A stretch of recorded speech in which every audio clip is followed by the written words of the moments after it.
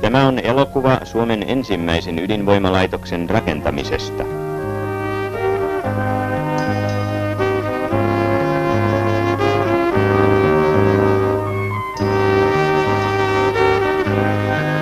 Tutkittuaan useiden vuosien ajan mahdollisuuksia ryhtyä käyttämään ydinvoimaa sähkön tuotannossaan, Imatran voimaosakyhtiö vuonna 1966 osti laitoksen sijoituspaikaksi Hestholmenin saaren Loviisan kaupungilta. Saari sijaitsee ulkomeren äärellä 12 kilometriä etelä-kaakkoon Loviisan kaupungista. Jo hyvin varhaisessa vaiheessa aloitettiin myös alueen taustasäteilyn selvitystyö. Siten pyritään saamaan mahdollisimman luotettavat vertailuarvot käytettäväksi voimalaitoksen ympäristövaikutusten arvioinnissa.